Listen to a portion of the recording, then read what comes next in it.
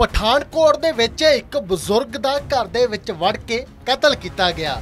ਦਰਅਸਲ ਲੁੱਟ ਦੀ ਨੀਅਤ ਨਾਲ ਇਸ ਵਾਰਦਾਤ ਨੂੰ ਅੰਜਾਮ ਦਿੱਤਾ ਗਿਆ।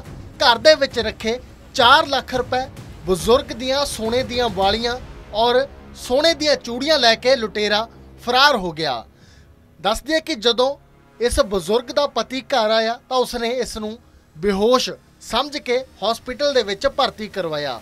ਜਿੱਥੇ ਡਾਕਟਰਾਂ ਨੇ ਇਸ ਨੂੰ ਮ੍ਰਿਤਕ ਘੋਸ਼ਿਤ ਕਰ ਦਿੱਤਾ। ਤਾਂ ਪਠਾਨਕੋਟ ਦੇ ਵਿੱਚ ਇਹ ਵਾਰਦਾਤ ਹੋਈ ਹੈ।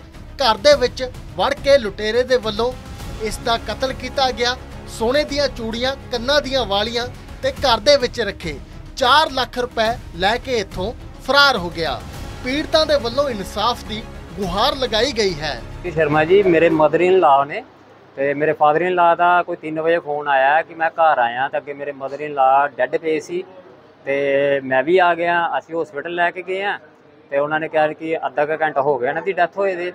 ਤੇ ਉਸ ਤੋਂ ਬਾਅਦ ਅਸੀਂ ਦੇਖਿਆ ਕਿ ਇਹਨਾਂ ਦੇ ਕੰਨ ਦੀ ਬਾਲੀ ਔਰ ਚੂੜੀਆਂ ਦੋਨੇ ਨਹੀਂ ਸੀ। ਤੇ ਇੱਕ ਤੋਂ ਕੋਈ 4 4.5 ਲੱਖ ਰੁਪਏ ਕੈਸ਼ ਪਿਆ ਸੀ ਘਰ, ਉਹ ਵੀ ਕੈਸ਼ ਨਹੀਂ ਹੈ। ਤੇ ਬਾਕੀ ਸਾਨੂੰ ਪਤਾ ਨਹੀਂ ਲੱਗਿਆ ਕਿ ਕੌਣ ਆਇਆ, ਕੀ ਕਰ ਗਿਆ। ਪਰ ਕੁਝ ਜਣੇ ਕਹਿ ਰਿਹਾ ਕਿ ਕੋਈ 1:20 ਮਿੰਟ ਤੋਂ ਲੈ ਕੇ 2 ਵਜੇ ਤੱਕ ਤੁਹਾਡੇ ਦਰਵਾਜ਼ੇ 'ਤੇ ਕੋਈ ਸਕੂਟੀ ਖੜੀ ਸੀ ਵਾਈਟ ਰੰਗ ਦੀ। ਤੇ ਬਾਕੀ ਅਜੇ ਤੱਕ ਕੋਈ ਪਤਾ ਨਹੀਂ ਬਾਕੀ ਹੁਣ ਪੁਲਿਸ ਦੇਖੋ ਕਰ ਰਹੀ ਹੈ। ਘਰ ਇਕੱਲੇ ਰਹਿੰਦੇ। ਕਿਉਂਕਿ ਇਹਨਾਂ ਦਾ ਬੇਟਾ ਕੋਈ ਨਹੀਂ ਹੈ। ਹਸਬੰਡ ਇਹਨਾਂ ਦੇ ਸੇਲ ਪਰਚੇਜ਼ ਦਾ ਕੰਮ ਕਰਦੇ ਉਹ 3 ਵਜੇ ਆਉਂਦੇ ਘਰ। 2 ਵਜੇ ਉਹਨਾਂ ਨੇ ਕਾਲ ਕੀਤੀ ਇਹਨਾਂ ਨੇ ਕਾਲ ਚੁੱਕੀ ਨਹੀਂ। ਤੇ ਉਹਨਾਂ ਆਪਣੇ ਟਾਈਮ ਤੇ 3 ਵਜੇ ਘਰ ਆਇਆ ਦਰਵਾਜ਼ਾ ਖੋਲ੍ਹਿਆ ਤਾਂ ਅੱਗੇ ਡੱਡ ਪਏ ਸੀ। ਉਹਨਾਂ ਨੇ ਤਾਇਆ ਜੀ ਵਗੈਰਾ ਨੂੰ ਬੁਲਾਇਆ ਤੇ ਉਨੀ ਦੇਰ ਨੂੰ ਮੈਂ ਵੀ ਪਹੁੰਚ ਗਿਆ। ਅਸੀਂ ਫਟਾਫਟ ਚੱਕ ਕੇ ਅਜੇ ਮੈਂ ਹਸਪੀਟਲ ਲੈ ਗਏ ਤਾਂ ਉਹਨਾਂ ਨੇ ਕਿਹਾ ਜੀ ਇਹ ਡੱਡ ਹੈਗੇ ਨੇ 4.5 ਲੱਖ ਰੁਪਏ ਘਰ ਹੁਣ ਕਿੱਥੋਂ ਆ ਇਹਨਾਂ ਦੇ ਕੋਈ ਜੱਦੀ ਪ੍ਰਾਪਰਟੀ ਪੇਕਿਆਂ ਵਾਲੇ ਪਾਸੋਂ ਪ੍ਰਾਪਰਟੀ ਵਿਕੀ ਸੀ ਉਹਦਾ ਪੈਸਾ ਮਿਲਿਆ ਸੀ। ਨਾਲ ਸੇਲ ਪਰਚੇਜ਼ ਦਾ ਵੀ ਕੋਈ ਸੀਸੀਟੀਵੀ ਕੈਮਰਾ ਵਗੈਰਾ ਲੱਗਿਆ? ਸਾਰੇ ਸਾਡੇ ਤੇ ਕੋਈ ਨਹੀਂ ਲੱਗਿਆ ਆ- ਆਲੇ ਦੁਆਲੇ ਵੀ ਕੋਈ ਨਹੀਂ ਹੈ ਇਸ ਟਾਈਮ ਕਿਸੇ ਤੇ ਕੋਈ ਸ਼ੱਕ ਸ਼ੁਕ ਸਾਕ ਸਾਰੇ ਸਾਹਮਣੇ ਨਹੀਂ ਲੱਗਣ ਦੀ ਪਿਆ ਕੋਈ ਭੇਤੀ ਆ ਹੁਣ ਪਤਾ ਨਹੀਂ ਕੋਈ।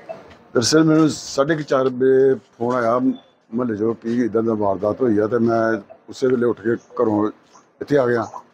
ਇਹਨਾਂ ਨੂੰ ਪੁੱਛਿਆ ਮੈਂ ਵੀ ਮੈਂ ਕਿਹਾ ਪੁਲਿਸ ਰਿਪੋਰਟ ਕਰਾਈ ਹੈ ਤੇ ਕਹਿੰਦੇ ਕਿ ਪੁਲਿਸ ਰਿਪੋਰਟ ਨਹੀਂ ਕਰਾਈ। ਮੈਂ ਕਿਹਾ ਕਿਉਂ ਨਹੀਂ ਕਰਾਈ? ਕਹਿੰਦੇ ਕਿ ਉਹ ਫਿਰ ਪੋਸਟਮਾਰਟਮ ਕਰਦੇ ਆ, ਇਸ ਕਰਕੇ ਅਸੀਂ ਡਰਦਿਆਂ ਕਰਾਈ ਨਹੀਂ ਮੈਂ ਕਿਹਾ ਏਡੀ ਵੱਡੀ ਵਾਰਦਾਤ ਹੋ ਗਈ ਹੈ। ਨਾਲ ਗਹਿਣੇ ਚੋਰੀ ਹੋ ਗਿਆ, ਨਾਲ ਕਹਿੰਦੇ ਡੈਥ ਹੋ ਗਈ ਹੈ ਲੇਡੀਜ਼ ਦੀ। ਤੇ ਤੁਹਾਨੂੰ ਪੁਲਿਸ ਨੇ ਮੈਂ ਫਟਾਫਟ ਉਸੇ ਵੇਲੇ ਐਸਐਚਓ ਸਾਹਿਬ ਨੂੰ ਫੋਨ ਕੀਤਾ। ਤੇ ਐਸਐਚਓ ਸਾਹਿਬ 10 ਕੁ ਮਿੰਟ ਦੇ ਅੰਦਰ ਅੰਦਰ ਇੱਥੇ ਪਹੁੰਚ ਗਿਆ। ਉਸ ਤੋਂ ਬਾਅਦ ਉਹ ਇਨਕੁਆਇਰੀ ਕਰਨ ਦੇ ਸਾਰੀ ਤੇ ਜੋ ਉਹਨਾਂ ਦੱਸਿਆ ਕਿ ਦੋ ਉਹਨਾਂ ਕੰਨਾਂ ਦੇ ਟੋਪਸ ਆ, ਜਿਹੜੀ ਦੇ ਨਾਲ ਦੋ ਹੱਥ 'ਚ ਚੂੜੀਆਂ ਸੀ ਤੇ ਨਾਲ 4.5 ਲੱਖ ਰੁਪਏ ਕੋਈ ਜ਼ਮੀਨ ਵੇਚੀ, ਉਹ 10-15 ਦਿਨ ਦਾ ਘਰ 'ਚ ਹੀ ਪਿਆ ਸੀ। ਤਿੰਨ ਵਜੇ ਕਹਿੰਦਾ ਮੈਂ ਆਉਣਾ ਤੇ ਤਿੰਨ ਵਜੇ ਮੈਂ ਆ ਕੇ ਦਰਵਾਜ਼ਾ ਖੜਕਾਇਆ ਤੇ ਉਹ ਬੋਲੀ ਨਹੀਂ, ਅੰਦਰ ਜਾ ਕੇ ਦੇਖਿਆ ਤੇ ਉਹ ਵੀ ਢਾਲ ਪਈ ਦੀ ਤੇ ਮੈਂ ਫਟਾਫਟ ਚੁੱਕ ਕੇ ਇਹਨਾਂ ਨੇ ਅਜੇ ਮਾਂ ਹਸਪਤਾਲ ਲੈ ਕੇ ਗਿਆ, ਅਜੇ ਦੇ ਹਸਪਤਾਲ ਉਹਨਾਂ ਨੇ ਕਹਿ ਗਏ ਤੇ ਘੰਟੇ ਦੀ ਮਰ ਚੁੱਕੀ ਦੀ ਹੈ। ਕੀ ਲੱਗਦਾ ਕਿ ਡੈਥ ਕਿਸ ਤਰ੍ਹਾਂ ਹੋਈ ਹੈ ਉਹਨਾਂ ਦੀ? ਲੇਡੀਜ਼ ਦੇ ਲੱਗਦਾ ਮੈਨੂੰ ਕਿ ਉਹ ਤੇ ਵੈਸੇ ਹੀ ਬੜੀ ਕਮਜ਼ੋਰੀ ਦੇ ਕ- ਰਿਪੋਰਟਾਂ ਵੀ ਦੱਸਣ ਦੇ ਵੀ ਕੱਲ ਵੀ ਦਿਖਾ ਕੇ ਆਇਆ ਇਹਦੀ ਸ਼ੂਗਰ ਬੜੀ ਡਾਊਨ ਸੀ ਪਰਸੋਂ ਵੀ ਦਿਖਾ ਕੇ ਆਇਆ ਤੇ ਹੋ ਸਕਦਾ ਨੈਚੁਰਲ ਡੈਥ ਉਹਦੀ ਹੋ ਗਈ ਹੋਵੇ ਮੈਨੂੰ ਇਹ ਨਹੀਂ ਪਤਾ ਹੋ ਸਕਦਾ ਜਾਂ ਉਹਦੇ ਹੱਥ ਉਹਦੇ ਨਾਲ ਡਰ ਨਾਲ ਉਹਨੂੰ ਕੋਈ ਅਟੈਕ ਹੋ ਗਿਆ ਹੋਵੇ ਜਾਂ ਕੋਈ ਇਦਾਂ ਦੀ। ਪਹਿਲਾਂ ਵੀ ਮਹੱਲੇ 'ਚ ਕੋਈ ਏਦਾਂ ਦੀ ਵਾਰਦਾਤ ਹੋਈ? ਨਹੀਂ ਨਹੀਂ ਕਦੀ ਵਾਰਦਾਤ ਇਦਾਂ ਦੀ ਨਹੀਂ ਹੋਈ। ਨਹੀਂ ਆਪਾਂ ਇਹ ਨਹੀਂ ਕਹਿ ਸਕਦੇ ਕਤਲ ਹੋਇਆ ਅਜੇ ਤੇ ਪਹੁੰਚੇ ਆ ਮੌਕੇ ਤੇ। ਔਰ ਜੋ ਇਨਫੋਰਮੇਸ਼ਨ ਮਿਲੀ ਹੈ ਉਹ ਚ ਸਸਪੀਸ਼ਨ ਤੇ ਹੀ ਹੈ ਵੀ ਕੋਈ ਨਾ ਕੋਈ ਘਰ ਚ ਐਂਟਰ ਹੋਈ ਹੈ। ਔਰ ਇਹਦੀ ਮੌਤ ਕੀ ਹੋਈ ਹੈ ਕਿ ਇੱਕ ਸਟੋਰੀ ਹੈ ਵੀ ਇਹ ਜਿਹੜਾ ਕੋਈ ਡਾਊਟਫੁਲ ਹੈ ਵੀ ਕਿੱਦਾਂ ਹੋਈ ਸੱਟ ਮਾਰੀ ਹੈ ਕੀ ਹੋਇਆ ਪੋਸਟਮਾਰਟਮ ਤੋਂ ਪਤਾ ਲੱਗੇਗਾ।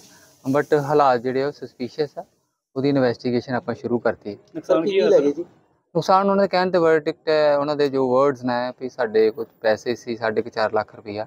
ਵਿੱਚ ਜੀ ਆਪਾਂ ਰਜਿਸਟਰੀ ਕੀਤੀ ਸੀ। ਉਹਦੇ ਪੈਸੇ ਆਏ ਸੀ ਕੁਝ ਤੇ ਉਹ 'ਚ ਕੁਝ ਪਏ ਹੋਏ ਸੀ। ਔਰ ਜੀ? ਉਹਨਾਂ ਦੇ ਮੁਤਾਬਕ ਉਹਨਾਂ ਦੇ ਕੰਨ ਦੇ ਵਿੱਚ ਜਿਹੜੇ ਕਾਂਟੇ ਸੀ ਤੇ ਹੱਥ 'ਚ ਕੜੇ ਸੀ ਜਿਹਨਾਂ ਉਹਨਾਂ ਕਦੇ ਨਹੀਂ ਖੋਲੇ ਉਹ ਵੀ ਗਾਇਬ ਹੈ। ਨਹੀਂ ਅਜੇ ਕੋਈ ਫੁਟੇਜ ਲਾਗੇ ਛਾਗੇ ਤੇ ਕੋਈ ਮਿਲ ਨਹੀਂ ਰਹੀ। ਜਿਹੜੀ ਇੱਕ ਅਵੇਲੇਬਲ ਹੈ ਉਹਦੇ 'ਚ ਕੋਈ ਇਦਾਂ ਦਾ ਕੋਈ ਰਿਕਾਰਡ ਨਹੀਂ ਆ ਰਿਹਾ। ਬਟ ਅਸੀਂ ਹੁਣ ਪਹੁੰਚੇ ਆ ਇਸ ਟਾਈਮ ਲੱਗੇਗਾ। ਆਪਾਂ ਟੀਮਾਂ ਬਣਾ ਕੇ ਸਾਰਾ ਸਰਚ ਕਰ ਲਗੇ ਆ ਸਰਕਾਰ 'ਚ ਕਿੰਨੇ ਕੁ ਜਾਣੇ ਰਹਿੰਦੇ ਸੀਗੇ? ਘਰ 'ਚ ਮੀਆਂ ਬੀਵੀ ਸੀ। ਇੱਕ ਆਪੇ ਤੇ ਉਹ ਜਿਹੜਾ ਜਗਦੀਸ਼ ਰਾਜ ਜੀ ਨੇ ਉਹਨਾਂ ਦੇ ਹਸਬੰਡ ਉਹ ਸੇਲ ਪਰਚੇਜ ਦਾ ਕੰਮ ਕਰਦੇ ਆ ਮੋਟਰਸਾਈਕਲ ਦਾ। ਕੈਸ਼ ਸਰ ਕਿੰਨਾ ਗਿਆ ਅਪਰੋਕਸੀਮੇਟਲੀ ਉਹਨਾਂ ਮੁਤਾਬਕ 4.5 ਲੱਖ ਰੁਪਇਆ। ਹੈ ਮਹਿਲਾ ਦੀ ਮਹਿਲਾ ਦੀ ਉਮਰ ਕੋਈ 60 ਕਰੀਬ ਹੈ। ਪਰਿਵਾਰ ਨਾਲ ਗੱਲ ਹੋਈ ਤੁਹਾਡੀ ਕੁਝ ਦੱਸਿਆ ਉਹਨਾਂ ਨੇ ਕਿੰਨੇ ਸਮੇਂ ਦਾ ਵਾਕਿਆ ਹੈਗਾ ਜਾਂ ਕਦੋਂ ਉਹਨਾਂ ਨੂੰ ਪਤਾ ਲੱਗਿਆ ਨਹੀਂ ਉਹਨਾਂ ਨੂੰ ਪਤਾ ਲੱਗਾ ਵੀ ਮੈਂ ਪਹਿਲਾਂ ਫੋਨ ਕਰ ਰਿਹਾ ਫੋਨ ਨਹੀਂ ਚੱਕ ਰਹੀ ਉਹ ਖਾਣਾ ਖਾਣ 3 ਵਜੇ ਆਉਂਦਾ ਹੈ।